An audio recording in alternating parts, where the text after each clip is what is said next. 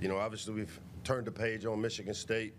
Uh, you know, for me, coming out of that game, and now that we've had a chance to kind of watch it and, and, and flush it, you know, the big thing for me that jumps out is that you can do almost everything right and still not get what you, you, you think you've earned or, or deserve. You know, you, when you win the turnover battle, uh, I think three to one. When you look at uh, on offense, we, we chart what we call our margin of error, and it was one of the lowest margin of errors we've had. I think we were at 5.8% of the plays had a self-inflicted wound, which means we played pretty cleanly.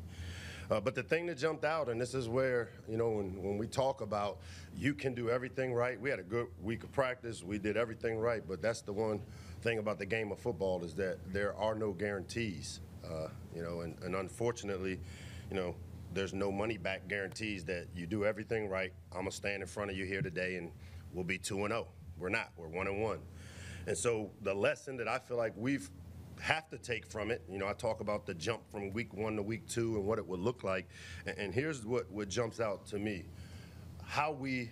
How, how resilient we will be uh, going into this season. I mean, to take a loss this early against, again, a, a team, Michigan State, uh, I said that we gave it away. You know what? They took it. They took the victory because they made the plays. That quarterback made some big throws. Uh, he made the plays when they needed to be made, and we didn't.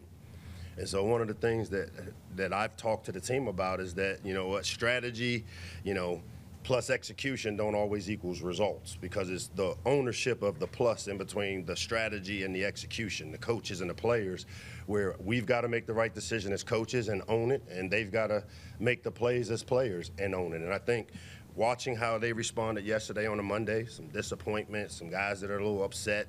Uh, credit to Michigan State, they took the victory. And for us, uh, as we move forward, how quickly, how intelligently, and how efficiently we move by this. Because for those that have been around here, you know, when you we've lost one and it's become two, three, and four, and that's something that, you know, as I told our team, it's going to be how we respond rather than how we react. So excited about the opportunity that UVA coming in offers us. Uh, I know Tony very well, Coach Elliott, uh, a friend in the profession. Uh, we've competed against each other during his time at Clemson and me at Bama. We got to know each other pretty closely but through the work of the National Coalition for Minority Football Coaches that, that, that I started, and he was he came through that program and, and, and is a guy that has his team two and zero big come from behind victory against Wake Forest. Uh, they were down a couple scores in the fourth quarter put a gutsy 12 play drive together. Uh, their defense made some plays at the end to, to, to, to have a come from behind victory on the road, and they're sitting at 2 and 0. Um, anybody that's been around here long enough understands the, the, the the, the longest game that the long the team that we've played the longest of any team. So the regional rivalry, having been in the ACC together, uh, there's some some natural commonalities among the two opponents. But I can tell you, I expect Charlottesville. Uh, it's, I expect it to be loud. I expect them to be excited because again, they've got their team with some momentum coming off of a big road victory. It'll be our first test on the road uh, together, and, and, I'm excited about getting down there and uh, having a chance to compete. Um, our game captains this week, Tommy Akingbesote, Dante Trader, and then uh, Billy Edwards will serve as our game captains as we head down to UVA. And with that, I'll open it up to whatever questions. Mike, UVA is coming off a huge win on the road in the conference. Anthony Colandrea put up huge numbers. Malachi Fields a threat as well. After how your defense played this past Saturday, what sort of challenges does the UVA passing game present your club? How do you Yeah, I mean, one, you know, their quarterback. I think he had his kind of coming out a year ago when we played him. He, he replaced the quarterback that started the game for him, and he came in, and this guy kind of has some Taulia Tagovailoa skill set. He's a guy that we have to contain. Uh, he runs around and he extends plays. He throws the ball really well. Um, and, and, you're right, the Malachi, the receiver number eight, uh, a, a, threat. And then the slot guy that transferred in, number 11, uh, another threat. The thing that jumps out for us is, you know, last week's game, the big plays are what the difference in the game was. So for us, how do we minimize the big plays? And that's where, when I say strategy plus execution, that's coaches and players. The work inside is, is what's got to happen, which is to limit the big plays. We've got to find a way to contain the quarterback. Um, you know, defensively, they are a talented team. They've got a freshman All American linebacker, their front uh, seven, you know, really, really strong, heavy handed guys. So uh, be a great challenge for us. But I can tell you that the work will get done this week.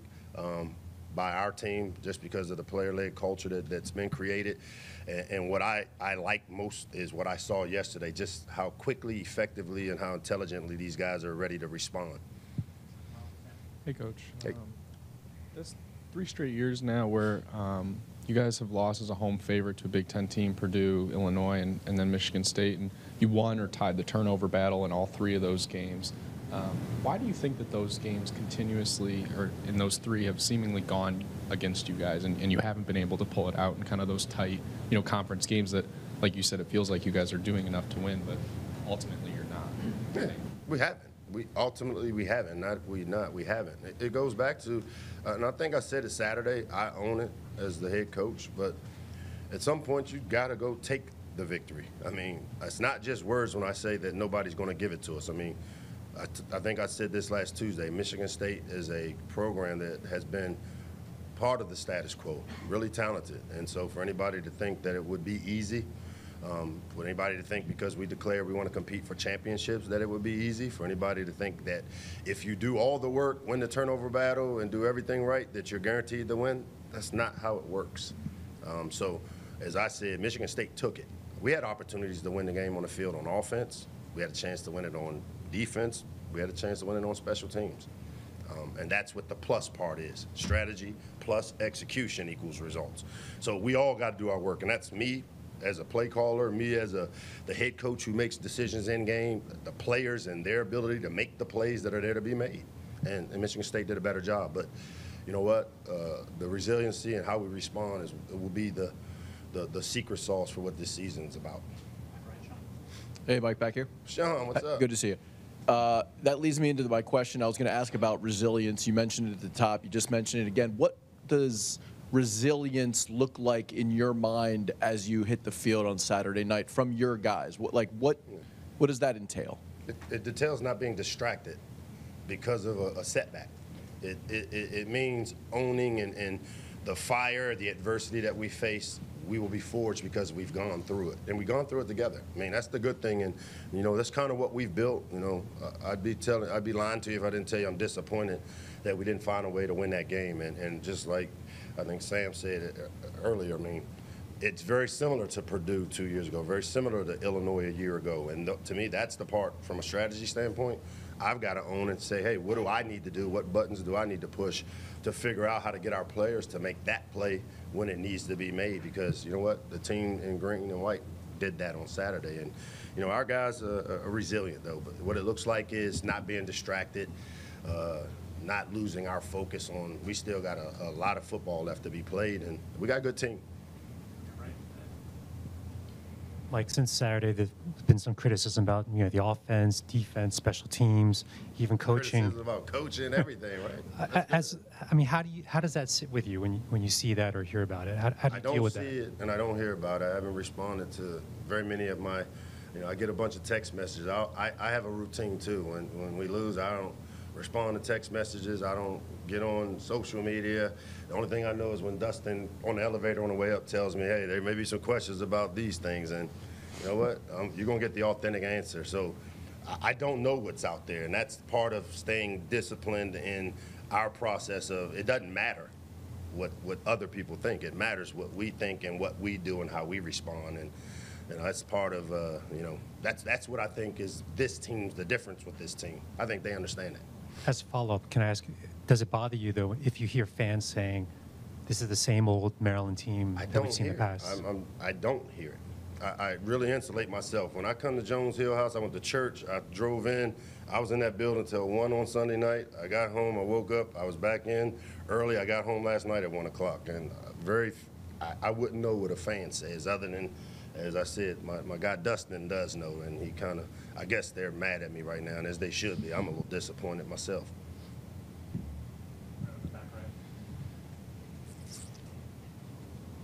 Hey, Coach, Tai leads all receivers in the nation in receiving yards. How are you able to kind of utilize his skill set uh, and keep building upon what he's been able to do through the first two weeks while still being able to maybe establish the run and let Roman go off a little bit?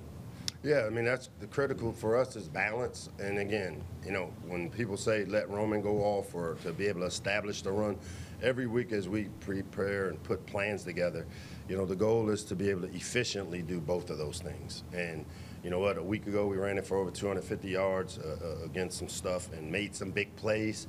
Uh, but the, the consistency up front is what we're, we're working to continue to do, uh, figure it out. Um, we had some growing pains a week ago. A really tough front, a, front seven that, you know, heavy-handed guys. Uh, Big Ten football. I mean, it was a, a very early uh, segue into Big Ten play for our team, and, and to be able to, you know, deal with that early, uh, be able to make the necessary corrections, uh, the necessary corrections. I expect us to be able to, to, to establish the ability to do both, run and throw efficiently as we continue to work through the season. Hey, Mike. George, This I know you're you don't control the schedule and everything like that. I preface it, but um, the last of a two-year series against Virginia. I know Virginia Tech's coming up in a few seasons, but this will be the last time you play Virginia for the foreseeable future. Is that a game and a rivalry you'd like you'd like to see kept from both sides of the Potomac in the future? You know what? I, I with the non-conference stuff, a lot of these non-conference stuffs, I am involved with that piece of it. The conference schedule is the part when it shows up and all those things. And I, I've, I think I've shared my philosophy. I've talked to Colleen, my my boss, who I work with to do the scheduling. You know, I like the regional regional rivalries. I like a, a Virginia, a West Virginia, VTech, a old ACC foe. Um, those are good for Maryland. They're good for our program. Um, they create some excitement because of some of the past. You know, obviously UVA being a regional rivalry, we've got guys from their state, they've got guys from our state. Uh, anytime we have a chance to, to keep some of these uh, these games alive, because like I said, it's the longest game that we've played against a, an opponent over the years. uh, You know, I think it's good for us. And you've been down there plenty of times, Scott Stadium, with Coach Friedgen and, hitting those teams in the early 2000s in the ACC. Have you been able to kind of get your guys ready for what they're going to expect in Charlottesville this weekend? You know what? As I've gotten older, I've learned that talking about what to expect in the stadium, I mean, I, just got to get us ready to play. I got to get us ready to take care of the plus in the middle. You know, me create the strategies for us, offense, defense, special teams, the players, go execute it, and then the work in between, and, and knowing that there's no money back guarantees on Saturday that we're gonna get the victory. Hey, coach. What's up, man? Um, so there was some the secondary struggled at times Saturday. Would there be anything schematically or personnel wise you'll be changing, or is it just kind of a matter of letting the young guys grow and get better? Yeah, man. You know, we've done dealt with these growing pains. You know, Deonte Banks, who's a first round draft pick as a true freshman, he had rough days a couple times too. And I'm gonna just tell you, you know, we got to keep the ball in front of us. Obviously, I mean, you can't, you know, play good defense. I think we gave up almost 300 yards on five passes. So when you talk about explosives and and they could couldn't have happened at the worst times for us. And so what we've got to do as coaches is go back to the the drawing board and make sure that we have talented players on the outside. They're young. So how do we help them grow without necessarily mitig- without mitigating the risk of what happened on Saturday? And I think that's the part where we got to keep somebody over the top. We got to keep somebody in the middle of the field, or sometimes just play man coverage and let these guys that they're talented enough to run around and cover people. And you know, we, we, we've looked at the things that happen. Um, on, on Saturday and keeping the ball in front of us, the, the, the, the, the outcome of this game was dictated by who made the most big plays, and, and they executed and created the bigger plays. Hey, coach. One more. Um, you mentioned after the spring game I that can't hear you, Sam. you mentioned after the spring game that Isaac Bunyan um, had pro potential as an offensive lineman, and what specifically led you to kind of have that faith in him and belief, and how have you evaluated how he's played through the first two games? Yeah, you know, Ike plays with pad level. Um, you know, the big thing up front is, is is movement and strength. And Isaac is a strong guy, um, one of the stronger guys in our program. Uh, has the ability to play pad on a pad, has good short area quickness, uh, has the ability to to create movement. You know, one of the things the way we play D line compared to some people is we do surface blocks. We our goal is to keep people off the linebackers on the on the D line, uh, and then there are times where we allow them to, to pass rush. Well, Ike has shown the ability of his leverage, his strength, and his power, um, and then he's smart. You know, and, and to me, you know, he has the size to hold up. I'd say uh, he's played above average. Uh, I mean, because when you think about it, I mean, this is his second game playing left guard. in, in, in the four, last four years. And, you know, he went up against a, a, a solid front a week ago. He had his struggles, as we all did, coaches, players. And, you know, I think what you'll continue to see, though, with Ike is how he responds. And he's a good football player, and I still feel he has a chance to help us tremendously this year, especially at that left guard position. Hey, Coach. Uh, I know you talked about uh, Anthony Colandrea, the, the passing attack, and Malachi Fields and whatnot, but uh, Colandrea, his uh, dual threat ability, his ability on the ground. Um, do you, I guess how much of a threat is that? And I guess do you feel like the defense kind of benefits just from facing him uh, from year prior? Uh, Well, he was their leading rusher a year ago, um, and he, a lot of it was not necessarily designed Q runs. These are runs. The scariest runs are, for me are when the quarterback drop backs to throw, and we are in man coverage or we're, we're underneath things, and now he has uh, the open space, and he's one of those guys that we've got to contain, rush him, meaning keep him in the pocket, keep him within the confines of the box, and make him win from the box because if you let him start running around and extending plays, uh, it's a tough cover for anybody, whether it's a freshman or a first round draft pick. Uh, to cover guys for long periods of time, it just doesn't work that way. So we've got to affect the quarterback, and then we've got to find a way to be, you know, to be close to number eight. I mean, him and number 11 are two talented players. They find ways to get and create opportunities for him, very similar to what we do with Tai. So on the defensive side, we got to find a way to contain the quarterback and, and keep the ball in front of us this week. Thanks, guys.